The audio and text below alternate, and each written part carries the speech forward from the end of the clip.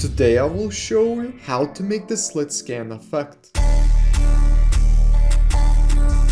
Yo, it's Povikas here and let's begin. Alright guys, so to make the slit scan effect, you will first want to have a clip that extends a bit longer. What I mean by that is like just have it a bit like smooth. This is kind of smooth here. Basically just a longer clip. Like if your clip is just one second long, this might not be a good idea. This actually will not be a good idea. Now I just want to show you that I am editing in 24 frames per second, but you can be editing in whatever frames you want. Now I will show you how to use this effect and I will also show you how to not use this effect. So now I'm going to show you how to use this. So here I have a clip that looks like this. It's a long continuous clip, which is perfect for this effect. And it actually extends like this, which will make for a really cool transition. Uh, so the first thing you'll want to do is create a new solid layer by right clicking, going to new and pressing solid layer. And now I'm going to make it dark. And here, like everyone adds gradient ramp, so I will do it as well. Now this will make it go from top to bottom or bottom to top, I kind of forgot. But what I will do is I'll actually make it go from side to side. So I'm going to drag this side right here and drag this side like right here. Yeah, something like this. And now I will just uncheck this so you won't be able to see it. And I will now right click, press new, and I'll make an adjustment layer. Now we can just not add an adjustment layer and add everything I'm about to add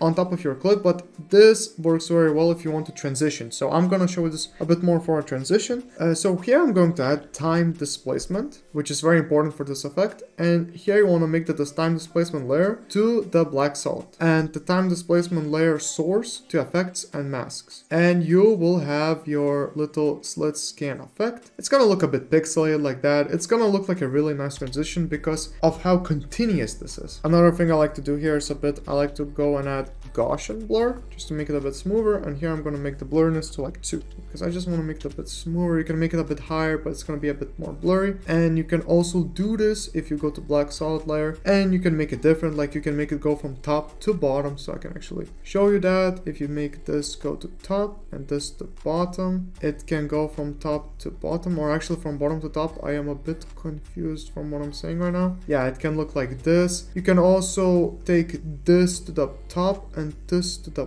bottom. Yeah, oh, actually, this looks a bit cooler. Yeah, this is a cooler version, I think. And yeah, it will be a really nice slit scan effect. It's very cool to use for transitions, uh, but make sure to have a bit of a longer clip. This clip is definitely a bit longer. So now I will show you what you would not want to do. So here I have a shorter clip which is, I'm pretty sure, about two seconds long. So it's not the worst, but I would really recommend to have this on like at least a three second clip. So here I'm going to turn back on the adjustment layer and you will start to see a bit of a problem. So as you can see, this is having a black bar. Now, why is this happening? Well, we selected time resolution FPS to 60. Now, what 60 actually means is, well, it is 60 frames per second, but also from this frame right here, you need to have one full second of motion here. So if we actually extended this and came back here. Oh, actually, wait, we need to extend a bit further. Oh yeah, and this we need to expand a bit further. Wait, it still doesn't work. Okay, so it is just dark here. I think this is happening because the previous clip was just dark. Yeah, something like that. Well, what I'm trying to say with this clip is the problem. It's a bit too short. Look at this clip. It just goes like this. Yeah, it's it's a way too short of a clip. Not much happens. You should not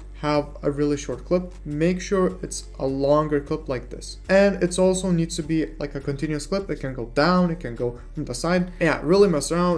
I guess you can set it to different angles even like try being original and make something like this. This could also look pretty cool. Actually that actually looks really cool. And i would also like to let you know that i have been a video editor for around seven years now. And i also have a video editing website which is called povikas.com which basically just helps other video editors have crazy visuals such as my dark opium presets, which are basically like Ken Carson visuals, or VHS presets that give you that nostalgic look and that really damaged VHS look. So I would really recommend to check out povikas.com if you want to up your editing game to the next level. These presets are very easy to use. It's as simple as dragging and dropping a preset. It will load up and you will have a flicker effect. But this is how what will look with like flicker heavy 4v2. But anyways, that's about it for the video. If you have any questions, then again, please let me know. But otherwise, it was fun. Have a fun and productive day. See ya.